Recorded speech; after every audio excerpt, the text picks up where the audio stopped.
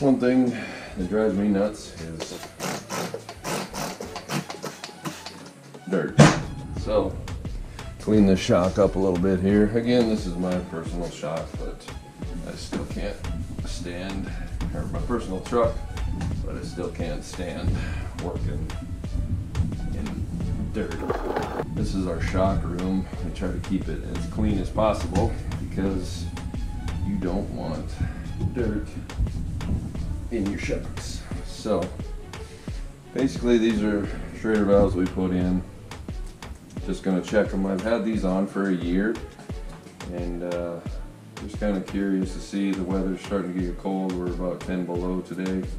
So this is when you want to check your shocks and make sure that they are where they're where they need to be.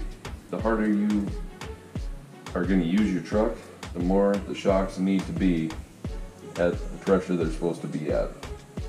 Um, these are still holding. I literally haven't checked these since we put them on last year. They've got 200 pounds in them still, which is great. Um, if you do run into problems with a shock, most of the time, like on Gen 1s, it's because uh, basically they lose nitrogen pressure first. And when you lose gas pressure in a shock, it starts to cavitate. And without getting into, you can look up the cavitation or shock cavitation online if you're really curious. But you can run your shocks, like if you're just driving your your uh, truck on the highway all the time and it's a smooth highway, your shocks can be a little bit low and it's not as not as big of a deal. They're not working as hard. If you're out in the field or if you're on rough roads or if you got potholes and that shock is, you know, when you're hitting hitting holes, this is this is a shock absorber. This is what's this is what is absorbing those. And if it doesn't have the proper gas pressure in there, it's not going to function properly. Yes, it's going to go in and out, but it's not going to function properly. So the harder you uh, use this shock, more you need to make sure that your gas pressure is set where it needs to be. There's a lot of misinformation out there, a lot of guys that think they know what they're talking about when it comes to shocks. Yes, you can run these shocks lower and you can run your Gen 1s at 200 if you want to. That is not the correct gas pressure. The Gen 2s are 200 in the front, 150 in the rear. If you have any questions, I can send you the literature from Fox that says that is the gas pressure. We here put 200 in both the front and the rear. Everybody says the same thing. Rides great, rides like new. Oh my God, I didn't know it was supposed to ride like this. On the Gen 1s, we put them at 250. This deal right here is base valve. There's probably a lot of people that don't know what that means. That's what allows you to run a lower gas pressure in your Gen 2s. These have a base valve in them, the Gen 1s do not.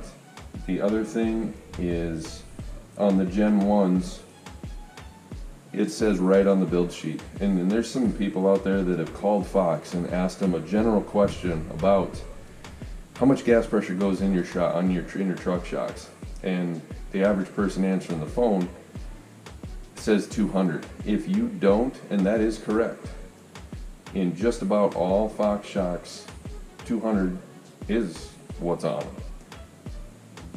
Not the Gen 1s. If you call Fox and ask Fox about a Gen 1 Ford Raptor shock, if they know what they're talking about, they will say 250. I have the emails, I have the build sheets, the actual schematics that says on the Gen 1s 250 psi plus or minus 10 pounds. That's what they're set at. That's why when you buy a new shock, that's what they're set at. But some of the people that rebuild these think that they're only supposed to be at 200. And that's the difference between us and them.